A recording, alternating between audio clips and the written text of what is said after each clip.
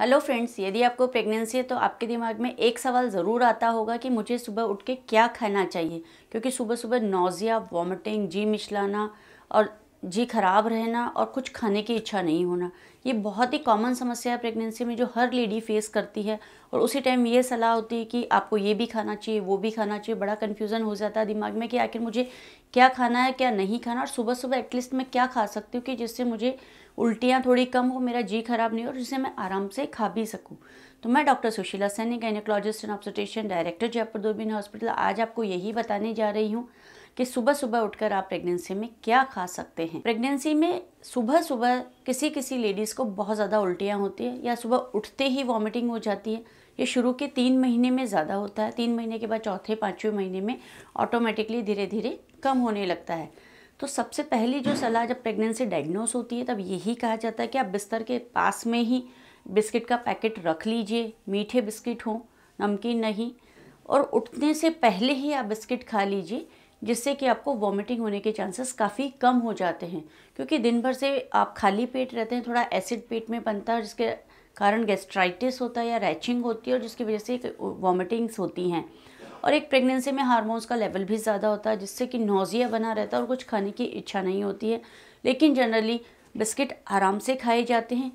Biscuit का brand जो भी आपको पसंद हो वो खा सकते हैं, लेकिन मीठे वाले जो ग्लूकोज बिस्किट होते हैं, उसमें ग्लूकोज भी होता है तो डेफिनेटली वो आपको फ़ायदा करता है। सुबह सुबह बहुत सारी लेडीज़ को चाय पीने की आदत होती है, लेकिन जैसे ही आप खाली पेट चाय पियेंगे तो आपको गेस्ट्राइटिस ज़्यादा होगा, यानी कि एसिडिटी बढ़ जाएगी। इसलिए सुबह सुबह खाली पेट चाय और कॉफ़ी पीने की सलाह नहीं दी जाती है। आपको बहुत ज़्यादा आदत है कि चाय पीनी ही है तो आप चाय के साथ टोस्ट ले सकते हैं बिस्किट ले सकती हैं, या कुछ और मठरी टाइप की चीज़ आप ले सकती हैं, जिससे कि चाय का जो एसिडिटी वाला इफ़ेक्ट है वो थोड़ा सा कम किया जा सके।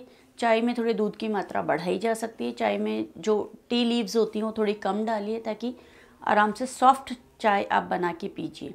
और कॉफ़ी भी अगर आप पीती हैं तो थोड़े हार्ड कॉफ़ी ना लेके सॉफ्ट या लाइट कॉफ़ी आप पीजिए। इसके अलावा सुबह सुबह अगर आप उठ के थोड़ा सा पानी पीती हैं, जो कि थोड़ा गुनगुना हो सकता है तो वो भी बहुत फ़ायदा करता है, क्योंकि सुबह सुबह अगर खाली पेट अगर पानी पी लेते हैं तो जितने भी बॉडी में टॉक्सिन्स बने पूरे रात भर में, वो सारे क्लीन हो जाते हैं और बावल मूवमेंट यानी कि आपको पॉटी जाने में भी हेल्प मिलती है।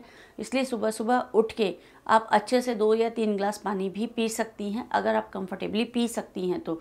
अगर दो ग्लास तीन ग्लास नहीं पिया जाए तो एटलीस्ट वन ग्लास या half an half an glass तो आप पी ही सकती हैं। इसके अलावा आप रात को बादाम भिगो के रख सकती हैं, जो सुबह उठ के आप पाँच से छः बादाम खा सकती हैं क्योंकि भीगे हुए बादाम भी बहुत फ़ायदा करते हैं और प्रेगनेंसी में रूटीनली बादाम खाने की सलाह दी जाती है।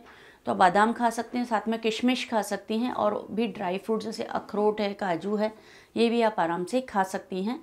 तो सुबह सुबह आप चाय, कॉफ़ी को थोड़ा अवॉइड करके फ्रूट्स ले सकते हैं ड्राई फ्रूट्स ले सकती हैं सिंपल दूध ले सकती हैं।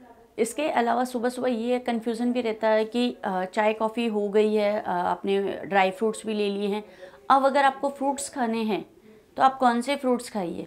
तो फ्रूट्स के लिए जनरली ये कहा जाता है कि आप जो फ्रिज में रखे हुए फ्रूट्स हैं, वो ना खाएँ, क्योंकि ठंडे फल खाने से आपको खांसी ज़ुकाम हो सकता है, तबीयत ख़राब हो सकती है।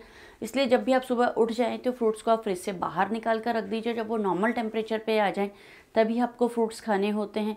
दूसरा, आपको खट्टे फल सुबह सुबह खाली पेट नहीं खाने होते हैं, क्योंकि खट्टे फल में एसिड होता है, जो एसिडिटी को बढ़ावा दे सकते हैं। तो आप बाद में नौ दस बजे के आसपास जब नॉर्मल टेम्परेचर पर फल आ जाता है तो आप उसे खा सकते हैं। इसमें आप एप्पल ले सकते हैं, अनार ले सकती हैं और जो भी रूटीनली सीज़न के जो फल आ रहे हैं, वो सारे आप खा सकती हैं। लेकिन आपको नॉन सीजनल फ्रूट्स यानी कि जो कोल्ड स्टोरेज के फ्रूट्स आते हैं, वो नहीं लेने हैं। इसके अलावा आपको कच्चा पपीता नहीं लेना, कच्चा अनानास नहीं लेना है। कच्चे फलों के साथ ही आपको कच्चा मांस और कच्चा अंडा भी नहीं खाना होता है, क्योंकि ये थोड़ा सा आपको नुकसान कर सकते हैं। और जब ब्रेकफास्ट की बात आती है तो आप उसमें नॉर्मल डाइट के अनुसार आप सैंडविच ले सकते हैं ब्रेड ब्राउन ब्रेड ले सकते हैं होल व्हीट ब्रेड ले सकती हैं, दलिया ले सकती हैं, पोहा, उपमा, ये आराम से रूटीनली जो भी बनता है घर में, वो आप खा सकती हैं। मिर्च मसाला कम डालने की सलाह दी जाती है क्योंकि प्रेगनेंसी में थोड़ा एसिडिटी का प्रॉब्लम ज़्यादा रहता है। और अगर आपको बहुत ज़्यादा नोजिया वॉमिटिंग रहता है और एसिडिटी भी ज़्यादा रहती है तो डॉक्टर आपको सुबह सुबह खाली पेट लेने की गोली की सलाह दे सकते हैं, वो लिख के भी देते हैं। तो आप सुबह सुबह उठते पहले वो खाली पेट की अगर आप गोली ले लेती हैं तो डेफिनेटली आपको एसिडिटी की संभावनाएँ कम हो जाती हैं, आपको प्रॉब्लम भी कम हो जाती है और आप खाना आराम से खा पाती हैं। इसके अलावा वॉमिटिंग कम करने के लिए और जी मिचलाने से कम करने के लिए भी मेडिसिन दी जाती है। वो भी आप सुबह उठ के खा सकती हैं, जिससे कि आपको ये प्रॉब्लम काफ़ी हद तक कम हो जाएगी और आप आराम से खाना या जो भी आपको सुबह खाना है वो खा सकती हैं। इसके अलावा आपको सुबह सुबह ऑयली फ़ूड खाने की सलाह बिल्कुल नहीं दी जाती है। दूध आप ले सकती हैं, लेकिन दूध को अच्छे से उबाल कर लीजिए ताकि इन्फेक्शन के चांसेस कम हो जाएँ।